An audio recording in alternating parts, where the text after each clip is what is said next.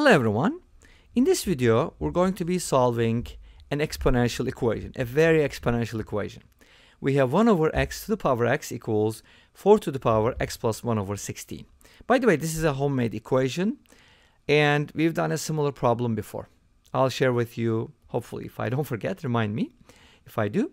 Anyways, so let's go ahead and solve this equation. How do we solve it, right? It kind of looks complicated. First of all, what is the meaning of 1 over x to the power x, right? Well, we can write it as 1 over x to the power x because a over b to the power n can be written as a to the n over b to the n. But when you have 1 over b to the n, that is just 1 to the n, b to the n. But 1, over, 1 to the power n is 1, so it can be written as 1 over b to the power n. So we don't have to worry about the numerator, we only have to worry about the denominator.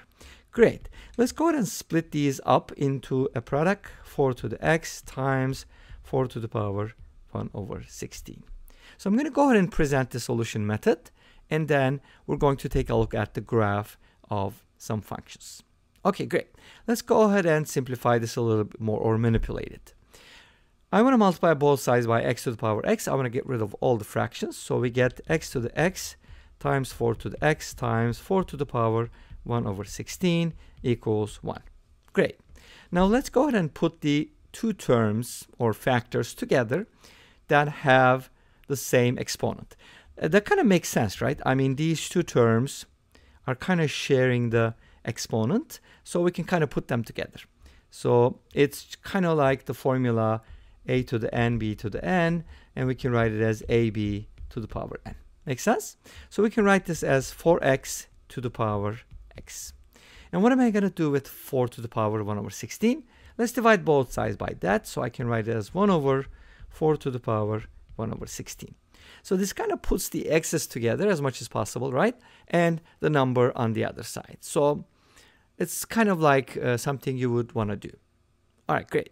So what should I do with this? 4 to the power 1 over 16, but that's reversed. So we can write it as 4 to the power negative 1 over 16. So negative exponent indicates that it's the reciprocal of something with a positive exponent. Make sense? Great. So now we're going to manipulate this a little bit more, but let's rewrite the final equation. So I got the following. Now you might be thinking, hey, we have the same base, but we don't. The base is 4x. Here the base is 4, but on the other side it's 4x. They're different.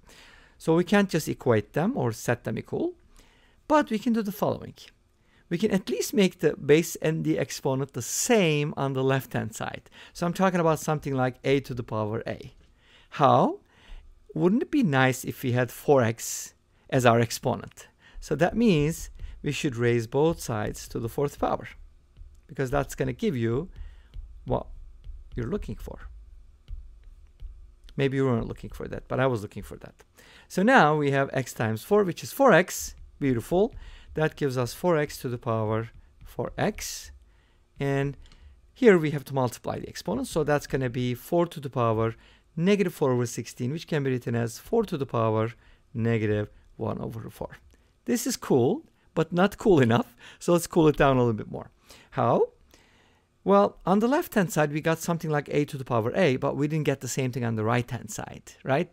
So we're looking for something like this, like if a to the power a is b to the power b, then we can conclude a equals b. For, you know, uh, at least that's one of the solutions. Okay, now, here's what we're going to do then. 4 to the power negative exponent. So can't I write that as 1 over 4 to the power 1 over 4? Absolutely. And by the rule we talked about, this can be written as follows. Now remember, 1 over b to the n is the same as 1 over b to the power n. So we can write this as, I mean this number, as 1 over 4 to the power 1 over 4, because that's what it is by this rule. Make sense? Beautiful. Now we got the one-to-one -one correspondence. What is it? 4x is 1 over 4, and 4x is 1 over 4. Isn't that great? Yes, and now we got 4x equals 1 over 4, and then x equals 1 over 16 and case closed this brings us to the end of wait a minute this is not the end of the video because we got another solution wait a minute how do you know that Here is how. 1 over 4 to the power 1 over 4 is a very interesting number because 1 over 4 is 1 half squared. So what is so interesting about it, right? Well, take a look. If I write the 1 fourth as 1 half squared and then multiply the exponents, I get 1 half to the power 2 fourths, which is 1 half. Wow, that's really cool, isn't it? Look, we, what we got from something like a to the a, we got something else like b to the b. So that's important because now if you take this variable and then set it equal to this new thing, now we can say that, hey, 4x equals 1 half satisfies this equation, not just 4x equals 1 fourth, right? So what is that supposed to mean? It means we have two solutions. Do we only have two solutions? We're going to take a look at the graph and we'll talk about it. But this gives us at least x equals 1 over 8 as another solution. So this equation looks like at least two solutions. It has at least two solutions. What is the original equation? This one.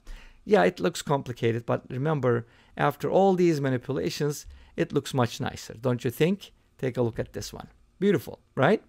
Now, we got two solutions, 1 over 16 and 1 over 8.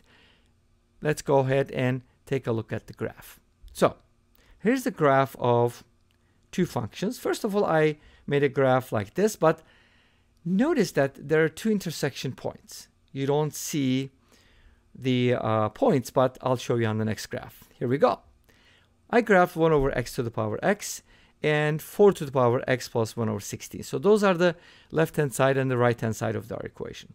And notice that these are the x values. And because of the way they curve, and you can kind of see the curve better here, notice that one of them is kind of concave up, the other one is concave down, and they intersect at two points only. There's no way they're going to intersect at other points because they're just going to get away from each other. And notice that the blue graph, is that green or blue? I think it's blue. The blue graph is starts at zero. So it's only defined for positive numbers. And this brings us to the end of this video. Thank you for watching. I hope you enjoyed it. Please let me know. Don't forget to comment, like, and subscribe. I'll see you tomorrow with another video. Until then, be safe, take care, and bye-bye.